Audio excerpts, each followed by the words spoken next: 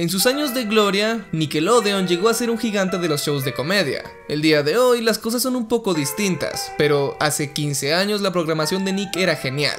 Primero llegó Drake y Josh, un spin-off del show de Amanda. Luego llegó el manual de supervivencia escolar de Ned, mi favorito personal, y después llegó Soy 101, el favorito de muchas otras personas. Antes de ellos estaba Kenan Nickel, obviamente, y todo eso. Y nos podríamos quedar aquí todo el día, reviviendo esas bellas épocas. Pero en el 2007 llegó uno de los shows más influyentes de Nick, y del cual trata el video del día de hoy iCarly. Esta serie trata sobre la vida de tres amigos, Carly, Sam y Freddy, y sus problemas típicos de adolescentes, pero con el pequeño detalle de que son famosos en internet. Así que a veces tenemos episodios bastante normales, que hablan del amor o de problemas en la escuela. Y a veces tenemos episodios en donde conocen a celebridades, como One Direction o Jimmy Fallon, o hasta Michelle Obama, la primera dama de los Estados Unidos en ese momento. Sí, por si no es aparente, este show era bien extraño, y a eso le podemos atribuir mucha de su popularidad. Personalmente yo lo veía muy de vez en cuando, y lo que más recuerdo es a Gibby sin camisa, la impresionante cantidad de problemas amorosos que veía en el show y las menciones de un tipo que se llama Calceto, alguien que supuestamente jamás apareció en el show y al día de hoy es uno de los misterios más grandes de iCarly. Pero primero, un mensaje de nuestro sponsor, que después de esto se dará un buen descanso de las apariciones en nuestro canal.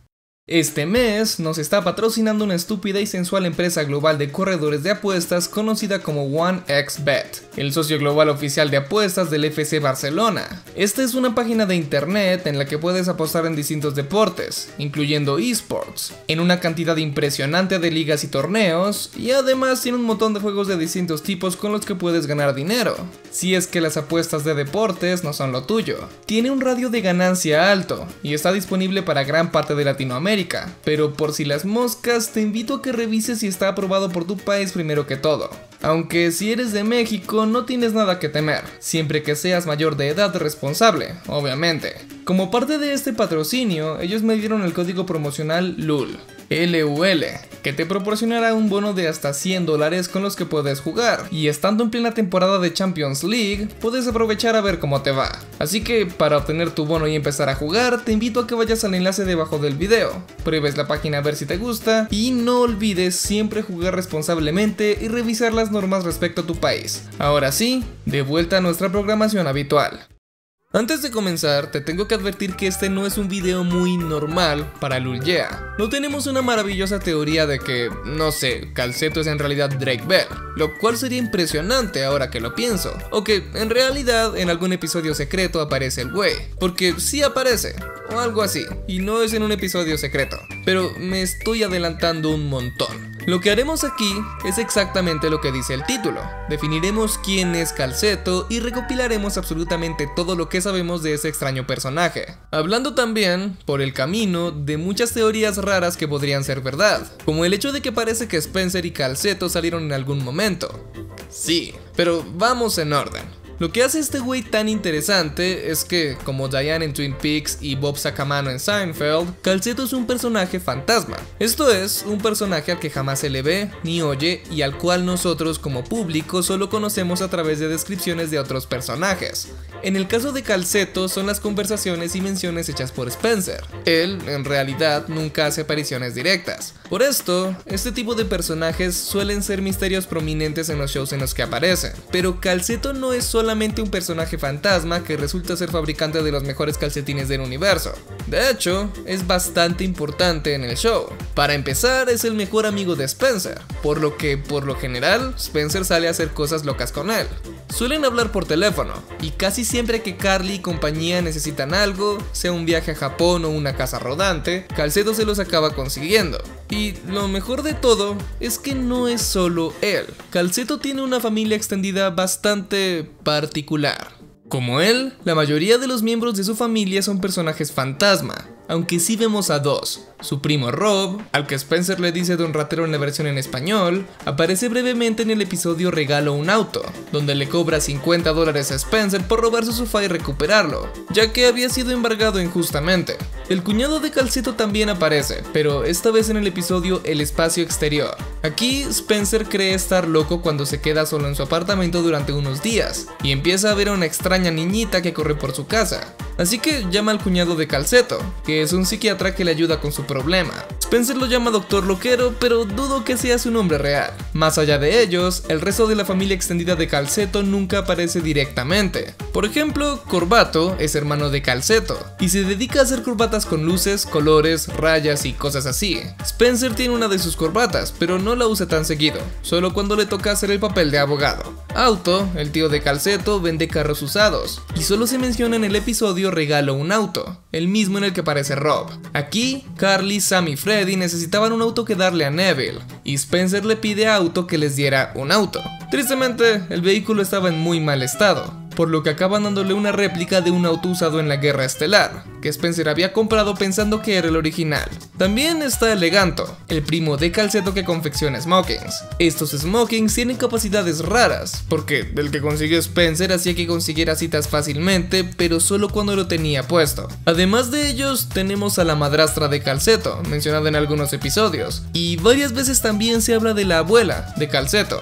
que acompaña a Spencer y a Calceto en sus aventuras locas en caso de que haya Habrás notado que todos en esa familia tienen nombres raros. Calceto, Corbato, Auto y Eleganto no son nombres tan comunes que digamos, pero esto no es porque en realidad se llamen así, y tampoco es que sean sus apodos. Esto simplemente fue consecuencia del proceso de traducción al español de iCarly.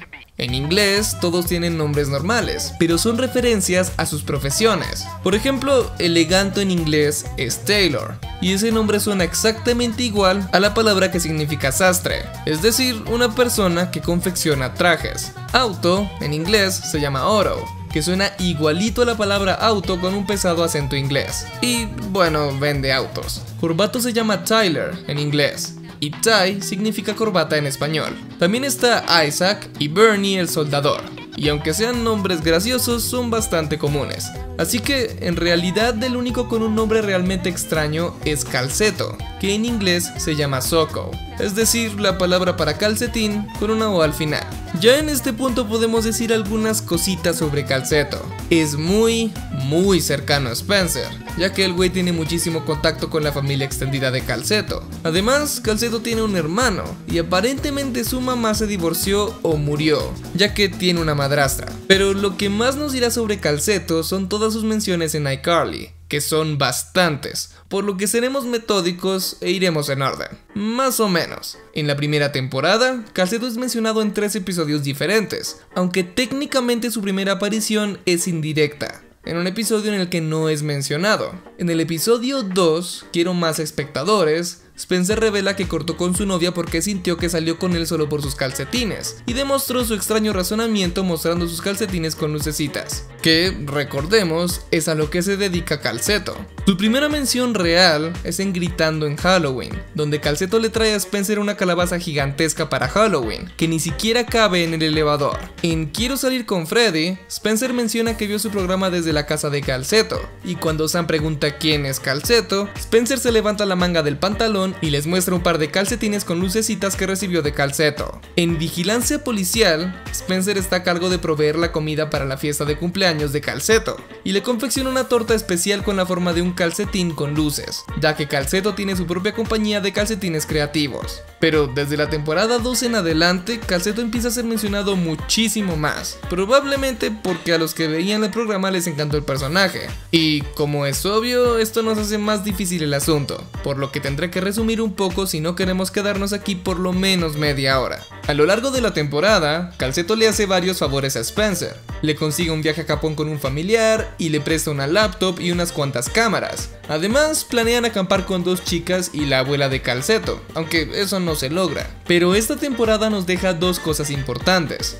Primero, en el episodio Afecté la votación, se nos revela que hace 10 años Spencer alquiló un DVD que fue a ver en la casa de Calceto. Esto nos indica que llevan por lo menos 10 años de amistad. Y aún mejor, nos da una pista sobre la edad de Calceto. Si aún vivía con su madre 10 años atrás y era amigo cercano de Spencer, que en ese momento tendría unos 18 años, entonces muy probablemente tienen una edad similar. Esto significa que Calceto es uno de los pocos amigos adultos de Spencer, y también nos acaba revelando por qué son tan cercanos. Ah, y en el último episodio de la temporada, vemos que Spencer y Calceto tienen un mensaje especial que se envían en todos sus cumpleaños. En la temporada 3, Calceto le consigue a Spencer un aire acondicionado super poderoso traído de Noruega. Además, Spencer va a nadar a la casa de Calceto y en otro episodio Calceto le presta una casa rodante, indicándonos que tiene bastante dinero, por si no era obvio ya. La verdad, el resto de la serie no nos revela nada nuevo. Calceto es excéntrico y siempre hace cosas raras con Spencer, como salir a montar bicicleta con cascos raros o llevar a su madrastra al rodeo mexicano.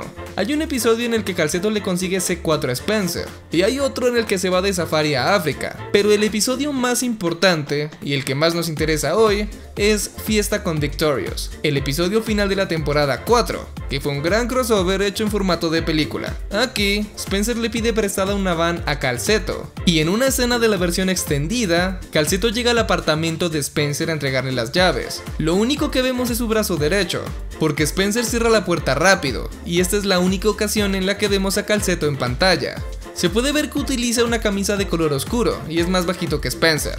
Y eso es todo. No hay ningún crédito para Calceto en el IMDB del episodio, ni en ninguna parte del internet, por lo que su cara siempre será un secreto. Es muy claro que nunca lo veremos, ya que, aunque en su momento Dan Schneider, creador de iCarly, dijo que consideraría mostrarlo algún día, ese momento ya pasó. En nick.com, cuando iCarly seguía al aire, habían blogs de cada uno de los personajes que actualizaban cada cierto tiempo. En el blog de Freddy, en un post sobre la familia de Calceto publicado hacia el final de la serie, Freddy menciona que apenas se daba cuenta que Calceto nunca había estado en el web show y que es un tipo genial pero no le gustan las cámaras. Así que supongo que esa es nuestra respuesta a por qué la audiencia no lo ha visto. Antes de terminar el video, nos queda una última cosa. ¿Recuerdas que mencioné que había una teoría de que Spencer y Calceto estaban saliendo o algo así? Bueno, el fandom de iCarly suele ser obsesivo con sus ships. De hecho, existe una página entera en la wiki en inglés dedicada a la pareja de Calceto y Spencer, llamada Spoko por Spencer y Soko. Esta relación siempre había sido un sueño loco de los shippers, hasta que fue publicado algo bien raro. En el blog de Spencer, en nick.com, en un post titulado ¿Qué no hacer en un matrimonio?, se nos cuenta que Calceto había invitado a Spencer al matrimonio de una prima de él, llamada Mary, pero era una invitación extraña. Específicamente, Calceto le pidió que Spencer fuera como su cita romántica. Inicialmente, Spencer había dicho que no, porque había estado enamorado de Mary durante 12 años y no quería ver que se casara con otro tipo. Sin embargo, Spencer aceptó la invitación después de que Calceto le prometiera que podría jugar en su Perapod en el camino al matrimonio. Así que, dentro de la historia de iCarly, Calceto no es solamente un tipo millonario con una compañía de calcetines que resultó ser el mejor amigo de Spencer, sino que también tiene sentimientos románticos hacia él.